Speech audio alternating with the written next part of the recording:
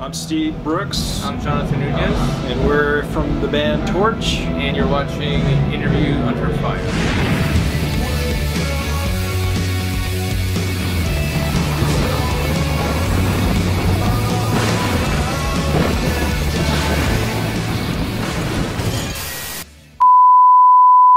All right, guys. Um, welcome back to Texas.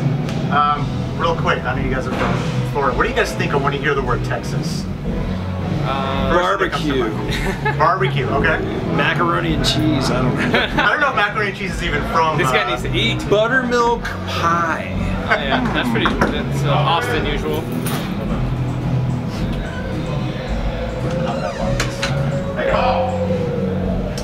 So you guys came. You guys came here. All of here. Oh shit! Sorry, man. All right. So you guys were here uh, last time in November 2019. Yeah. Uh, you guys were in Denton. So how was that?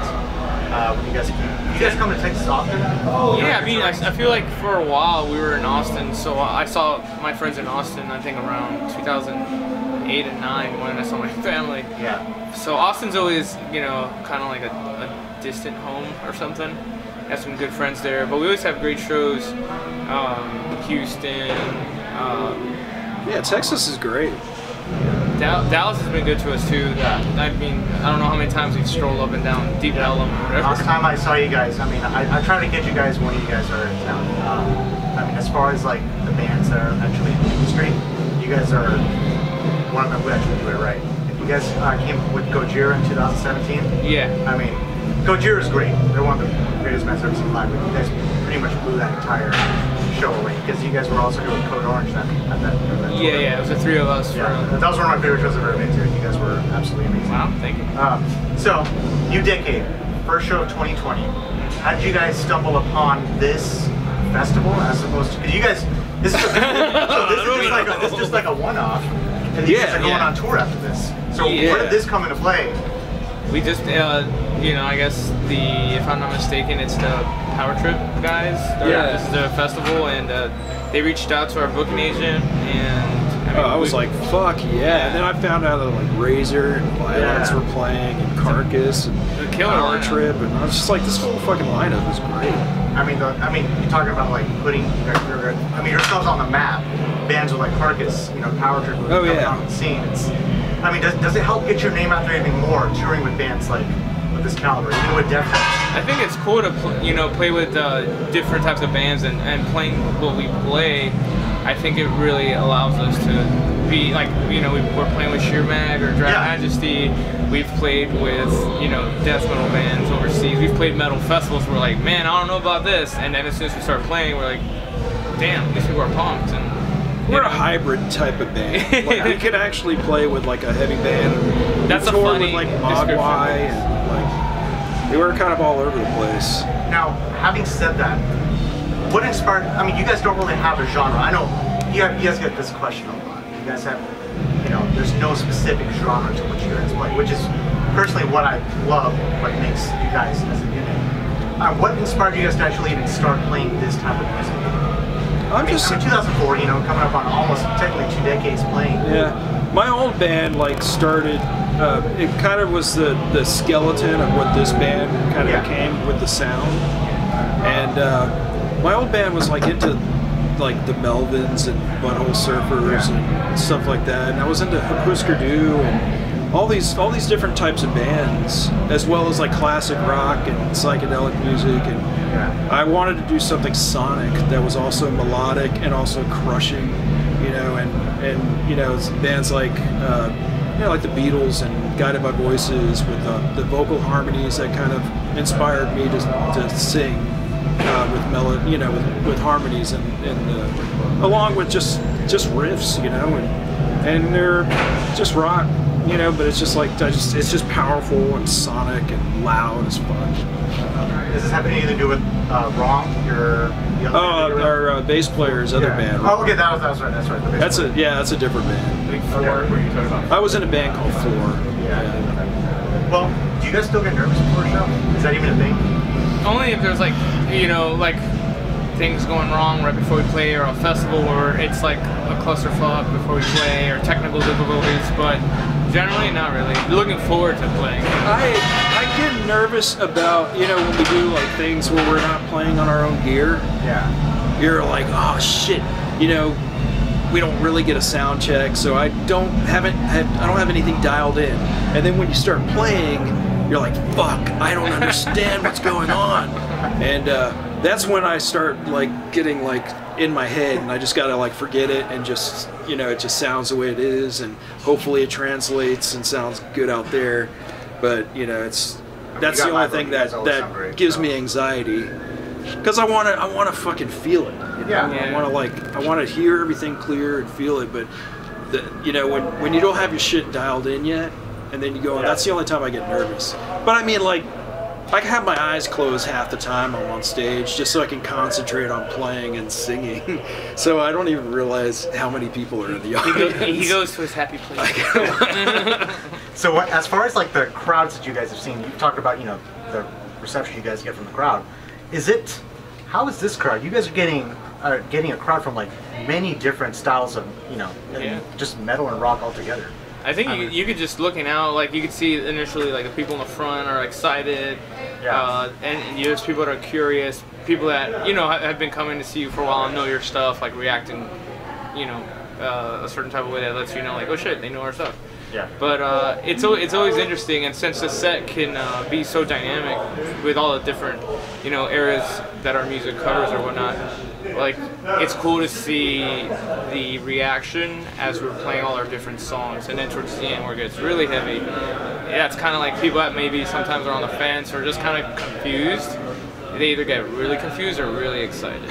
So it's, it's fun. Well, it's well, fun to watch. As, as far as that's concerned, I think you guys are achieving your goal then, because Yeah, you guys yeah. don't have a specific genre, which I love it. You guys, it's like confusing the fuck out of me. Yeah, I feel like there's like a, they love it, cohesive, you know? Cohesiveness like- and continuity, but like it's not like you know here we're gonna play 17 songs live that are the same exact thing front to back over and over. It's not that at all, you know. yeah. we just have nothing to lose. We Yeah, just there you fucking like we're just like I, I dig this riff, you know, or I dig this thing, and then we just write from there, and you know we can do like something that sounds like a sort of disco-y, and then do something that's like Swans or something, disco, you know, kind like of thing, like what? it's like like a disco beat, So and we can we can do it because we don't give a fuck. We're just we just make the Yeah. best out of.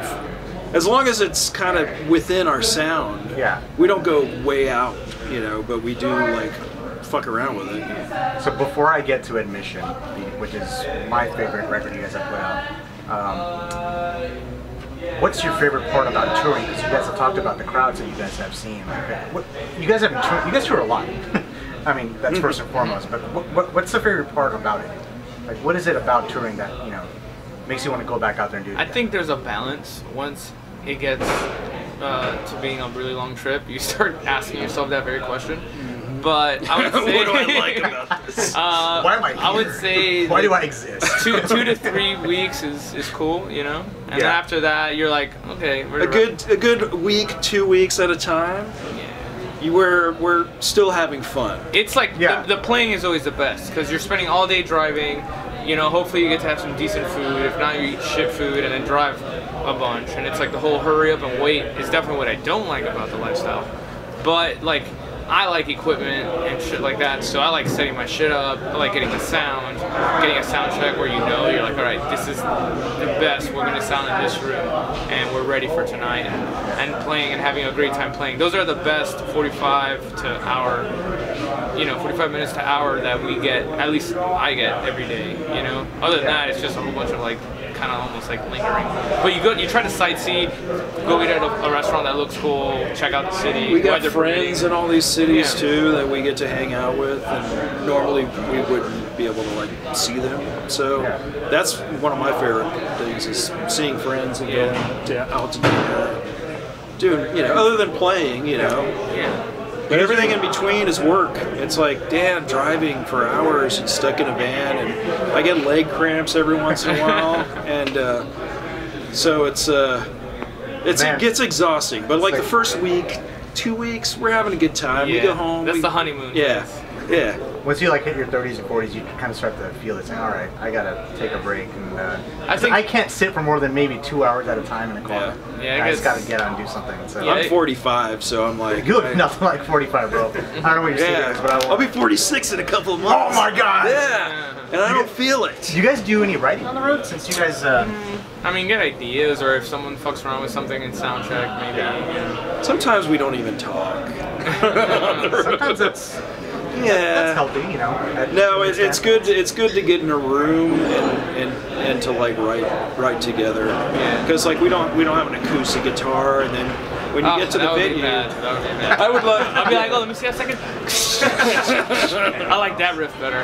yeah, but we can get one of those guitars with a speaker in it Oh, with, man. with distortion. Sounds Yeah. fantastic. Um, no, uh, we're, usually when we get to sound check, we have to sound check. We don't have any time to like write or we ever if we noodle a little bit, you know, or they're like, okay, time's up. You gotta like. you know, be courteous to the other bands Yeah. too. They get sound check and So we never really get any time to jam. Sometimes we'll like, but sometimes we played shows and come back and just start jamming on something. I mean, there's been shows where like the vibe is kind of loose. We don't have a cutoff time, and like through like let's say this like a, a really a, a, a- you know at the end of a song that lets us like make a bunch of fucking We can noise and jam shit. band It kind of like sometimes things have emerged from that, you know. Yeah. yeah, like uh, the song Inferno. Yeah. We uh, Yeah. we played it at we we came back. I think it was at St. Vitus in Brooklyn. We came back and did an encore.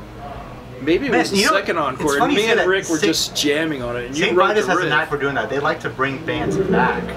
Yeah. It's just, it's just a. we kind of do a winter thing with them. I think last year was the first year in, in like at least two or three years that we didn't like fly up and do a February or early March show, Yeah. but we are going to be up there uh, next in month. February. Yeah. Yeah, this is before you guys hit uh, Europe, right? Yeah, And Okay. Russia. We're going to Russia. Have you been to Russia? No. Man. It's gonna I'm sure there's other places on the on the uh, on the uh, on the 37 day. yeah, yeah, yeah, that I've never been to. Did you say seven days? Y'all will be in uh, Europe? Or, No, no, thir- like it's like at least 37 shows. My mom, like, she, I, like, uh, I, I didn't even realize we were going to Russia, and Yeah. like the band posted all the dates, and she, I was talking to my mom. She's like, I was like, yeah, I'm going on tour, like, you know, and she's like, you're going to Russia too. I'm like, I am, and then like, I look at it, I was like, oh shit, this is the first time we're going to Russia. just bring on the Russian accent, you know? I know. That's how it goes. So the sound of the band, fifth album. John, before we get into that, you talked about the last album, how you weren't, you felt uh, it wasn't, it didn't feel like a complete like restarter. Like you didn't like it at first. I think that was Rick. Was it Rick who said Yeah. that? Oh, Rick, yeah, the drummer, yeah. Yeah. So he, I think he said that. And uh, I mean, what's your opinion on that? Like, it's. I think every every record is a snapshot of where the band was at that time. So for me, like, yeah, that's that record, and that's what we were writing. That's what we were doing at that time. That's the vibe we were creating or chasing. You know. He said it, it felt, he felt the record was put together too fast. It just Well, felt. I mean, it was written in like It was, 12 to 19 yeah. days. You know. I mean, Oh, wow. it was just like It was like a Time punk- crunch, It's a know? Fucking just. We just wrote these songs and recorded them. So what's Yeah. what what makes that mission different? Well, Admission really was written like people brought songs that they wrote on their own to the table. Yeah. Stuff was written as a group. Um, more stuff than what was actually on the record. You know, we had an not, I want to say an abundance of tracks, but like 17. But we wrote in LA, we wrote in Miami, Gainesville, Florida. We uh, put one song that I wrote came together right before the Gojira tour in Grand Junction, Colorado.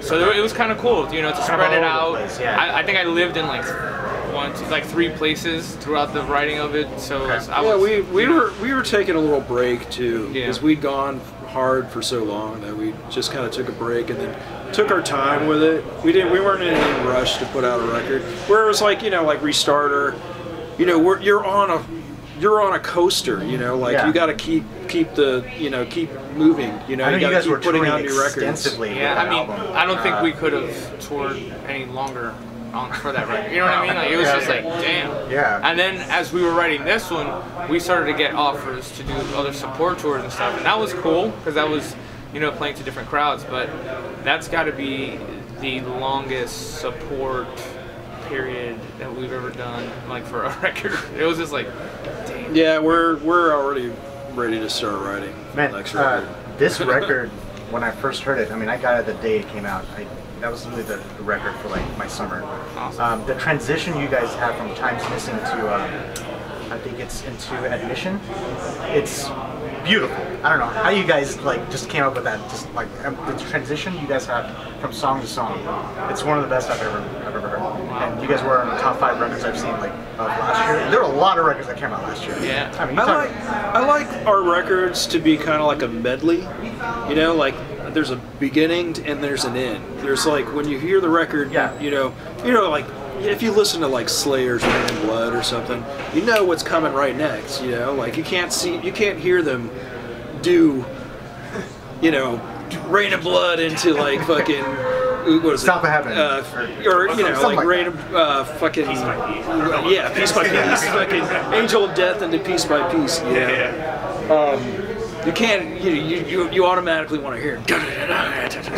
Um, but that's how I want our record to be. Like I, I want to be able to play that the whole thing. That I know. John said you talked about the flow of the record, how you liked the like the sonic experience of it. How Yeah, it just and it's got to be like Steve was saying. It's got to be a complete experience, both like sonically, emotionally. It should it should take you on a trip, on a journey, not just some a static, you know, vibe from beginning to end. So I want to listen to the record from start to finish. yeah, and, not- sometimes you can't. Like some records, you're like, all right, you get two or three songs in, and you're like, yeah. ah. Then some records, like, damn, I just listened to that whole record that I was only gonna listen to one or two songs from. It just sucks me in, and it always sucks me in. So. I mean, I love that, you know. What's It- y'all's favorite uh, song from the record? I, I love all of them. I love all of them. What's my favorite song? I know he's thinking. For I don't know. Different songs. I don't know. You know. I've, I've There you go. different songs You know, have different yeah. feelings. You know, you know, I was really proud of like, uh, um, what's the last song? changes come. Changes come. Yeah, yeah, dude. Yeah. I was really proud of that one because, like, before when, when we got into the studio to, to record, Rick didn't like two of the songs, so we had to write two new songs, like there. What is it with Rick? I feel like he's. No, I mean, he- there was know, another like, song that I Maybe you guys like. gotta have somebody who's like, okay, we gotta do this better or this better. I don't I know. mean, we're, always- we're, I think like I think when we we end up thinking about it, we're like, you know, you're you're like, ah, I don't know, if, I don't you know think of like it, it, it starts to become a thing. You know, it becomes something more than just like, oh, these four songs are cool together. Then you get more in depth with like the writing process. You're like, man, you know what, this song is cool, but maybe as a B side or somewhere, it doesn't fit the the record. You know what I mean? Yeah, it doesn't yeah, fit yeah. within the framework of it. But I mean, there was another one that I think I was just like. Everyone was like, "Yeah, it's cool. Let's do it." I'm like, "I, I don't like this one now." And like, shit. It was just So- like, God. so we wrote like while we were like recording, basically we wrote. That one was Uh, a phone. extremes That was like a voice memo. I'm like, I got this. Yeah, yeah, because I, I like that riff, and then we played it, and then I, I came up with the vocals, and then Yeah. the And uh, it's it's something new for us. extremes of consciousness. That song, That is actually my favorite one off the record. that song we wrote like in a couple of hours. Yeah. We were just like it was it was like a thrashy song at first. It was like and then we were like, no man, this fucking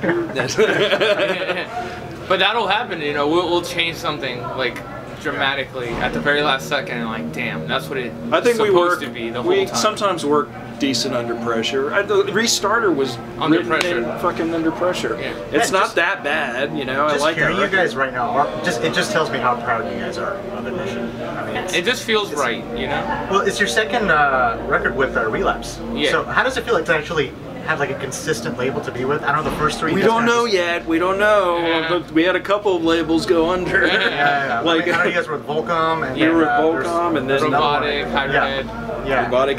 like they're all.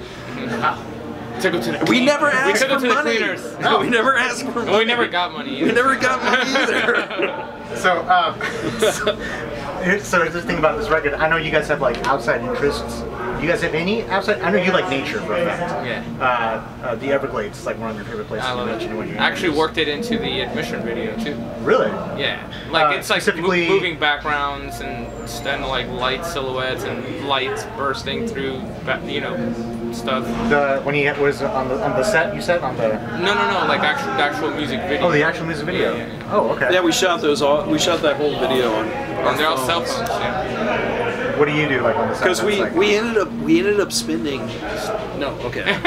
we ended up getting a real video made, and none of us liked it. unfortunately. So we were like, fuck. So in less than 48 hours, we made our own. we made our own own. video. And I think it does the song fantastic justice. That's awesome. So, Yeah. uh, I mean, I know the other two guys are here. Who's the most serious and who's the funniest? Every it's a revolving cast of emotions and characters. Yeah, well, I mean, you did say you don't, you don't. Sometimes you guys don't talk to each other on the road, Yeah. so it's kind of. Yeah, it's Collective. just everyone. I mean, people have stuff going on. I would life. say I would say Eric's the quietest, definitely. I'm the loudest, probably. yeah, Rick is pretty loud. I mean, you are the you're the vocalist. but when I'm asleep in the band, that's when everybody gets their piece. Have you guys have a favorite tour you've done so far? I want to say the Big Business Oh yeah. tour. with Helms Yeah. Lee, Yeah. business. Yeah, that was great. Um, yeah, because I was with Thrones too. Yeah. That was fantastic. When was this? Boris, the Boris tour was great. I love that one. Part Chimp tour was great. Man, which one? We did a tour with Part Chimp. Oh. And uh, East Coast. all of our tours have been good. We Uh-huh. haven't most of them. Yeah. Okay, well, a- any show that wasn't like, eh, let's put that on the back. Rather not mention. Yeah, yeah, we won't mention like the bad tours, but uh, Oh, okay. That's but good. everyone that I'll remember, you know, are you know been good Yeah, hey, tours. the Gojira tour was great too. yeah. No, that was a great show. Yeah, Joe. Dude, they were like awesome. their stage show is fucking. How did how did that uh, tour? Did they approach you or was it, was it They like? approached us, yeah. and you know, at first we are like, nah, really? yeah, I don't think that. Uh, and then they, I think they, they were, you know, they were. You they- gotta, you gotta, you know, you gotta kind of pick your audience sometimes Yeah. because a lot of times, you know, you invest, you go on a tour and it's like, man, this does not translate to this crowd at all. at all. At yeah, all. happened You gotta kind of- couple times. We kind of have to feel the vibe of, like, if it's like a, a band that's really like hot topic, like you, their shit's all over top topic. That's probably not, a- going to be our crowd. That's not going to be our crowd. but the Gojira stuff was great. They offered, we thought it was like, uh, and we were hesitant. We turned it down a couple and it was times. fucking fantastic. But they came back and they're like, hey, we want you guys. This is the number. And we're like, we're there. and we're like, we could afford to not have maybe, you know, we can afford to have like not the greatest merchandise or roll the dice. But it we ended could up being afford to great. come home. Yeah, yeah. Would y'all do another tour with Gojira again? Yeah. I would love to. Yeah. That'd be great. Yeah. Yeah, I think they're they're working on a record now. All right. Um, There you go. All right, two more questions. Let's do it. I would say favorite non-metal. I'm just gonna say, what would your favorite artist to collaborate with be? To If you ever wanted to collaborate with another artist. Like uh, musically, Yeah. obviously, because Anybody. we've been lucky to work with many artists visually. So, um, I don't know. You guys I don't know. Who, Oh, dude, fuck it, Brian. You know. who would who would who would be easy to work with though? You want to pick somebody easy? No, no, no. But I don't want to pick somebody that's going to take full control. I want to collaborate. You know, Well, that- just leave it at that. With a It's a good, with a good. Okay, I'll collaborate. Okay, so it's just one? Yeah, I'll just leave mine. That's mine. Right. Okay. Eno. Brian Eno, I'm good. All right. Fuck, man. Uh, Putting you on the spot. What you here. got, Steve? who would I like to collaborate with? Oh, dude. Kim Deal. Cool. Kim Deal. I would love to Breeders. collaborate. Oh man. Uh, Or we can fucking just aim aim for a total shit show and work with Phil Spector or some crazy uh, motherfucker. Well, he's in jail. Yeah, I Yeah, mean- no, no, he's, he's not gonna. hey, he can. FaceTime. hey, it's anybody. It's anybody Yeah, yeah. anytime. So that that counts. If y'all weren't Damn, Sir George. Fuck. If Wendy opened Williams door was still them now. Now alive, like, taking advantage of it. I would I would love to work with Wendy Williams too. Plasmatics. But if she, Yeah, and she was a nature. She worked as a at a nature preserve. oh yeah, she was awesome. She was so sweet. All, all the interviews, I yeah, fucking yeah. love her. I've heard good things about her. Like, That broke my heart, man. She yeah, was- yeah. Anyway, uh, yeah. What's your last question? I like this question a lot. If y'all weren't playing music, what would y'all be doing? I'd probably be dead. Oh well. Uh, He's like, oh, yeah. Okay, so interviews. I don't know. I think I would probably where I'm at currently. I would probably ch- choose either I would be still recording bands and have I have a pedal and amp company that might have happened, but if I wasn't playing music, that stuff probably wouldn't have happened because it all came Yeah. from playing music. I would have just probably ended up. I was gonna go to school to be a veterinarian, but something you know, animal orientated or outdoors orientated. I know you love animals. Yeah, You have two dogs. three now. Three dogs. Yeah. What breed? They're all husky mixes. Oh wow! I just adopted a uh, Australian cattle dog. Oh, wow, And a yeah. Heeler mix. Good Very God. particular. Yeah, they're super hyper, man. Oh, yeah. Just two months in. You gotta burn that energy. Yeah, I love it. Well, uh, I went to school for optometry. You know, I was going to Okay. be an optometrist. I So you would might have you been would an help people optometrist. see. Yeah, dude. Yeah, and I'm fucking blind. you can blind I, I, can- yeah, I know. I can You do can it. Like I know what's yourself. wrong. I know what's wrong. I can Yeah. laser this here and whatever. like spread them. All right. But you know, I started. I sold all my gear when I went back to school, Yeah. and I was like, I'm not gonna. You know, this is. I'm, I I need to have a job. I need to like have some security in my life. And uh, There's went to nothing school for a couple of years, and then started playing in bands again. And then here I am. Uh, was it 20 years later? Over 20 years later? Five albums in, still going. hey, but look what I I would have never been able to like see the world. Yeah. And And now you're going to Russia. Man, we've been. Yes. I mean, it's it's been a crazy ride. We've Yeah. we've if we haven't played with a, a ton of people we're you know inspired by, we've definitely met them. You know. Yeah. Oh yeah, oh you know I haven't. And it's sometimes crazy. You have no idea like who actually. I was just waiting for you guys, and you know Barney from Napalm Death is like, hey, hey. I'm like, shit, what's up, dude? And I didn't realize you remembered me or something. Wow. You know, That goes. That's surreal. Wow. Yeah, That's I mean it's and getting compliments from people whose music you grew up on inspired you. You know, I mean, pretty wild. When I first, when I just came up and said hey to you, like I've been listening to you guys for like 10 years, just to sit, like, you guys are the reason I do what I do. No. I mean, I owe it to myself to know what irks a musician to get their, you know, their name out there. You know, what what is in their head? How do I get this fucking out of my head, project it in the? You guys are an example of that. So, I mean, just even sitting here talking to you guys just make my day. Already, the new decade's off to an amazing start. awesome, man. Glad to hear it. It's kind of it's. I feel like 2019 went out kind of quietly, Yeah. And then so, but the 2020 is off to a hell of a start. Yeah, we are going to be real fucking busy in 2020. Yeah, it's. it's But it's a good thing because Yeah. uh, an example I'd like to take is like, for example, like like us, like it, it feeds our energy to know like you know a fan appreciates what the product you put, Yeah. and then it's I mean I you know you guys appreciate you know what, what you guys are getting from the fans. It's like a it's a two way street. Yeah, I mean it's the, I mean, the the fans that I saw on there, like the amount of Torche fans I saw, like singing along to your tunes, like that's the most I've seen. That, that, that, that's a big deal for you guys. Yeah, There I was some full body hipping. It's, Oh, yeah. It's There's- interesting because I feel like you know with this new record we've brought in you know people that are fresh to the band. You know, it's new to them. And Yeah. It's interesting times. You know. Um, Yeah. There's a, a friend of mine who's never heard you guys. Um, so I played Admission when you guys first released it, released it as a single. He goes, "This sounds like Coldplay on steroids," and I was like, "What?" Yeah, I mean- and and, and more I listened, I was like, "That's very interesting." Because I don't. There's somewhere uh, I heard it was. Um, what was the term? Some there were so many terms for this Oh, music. yeah. I wrote it down here too.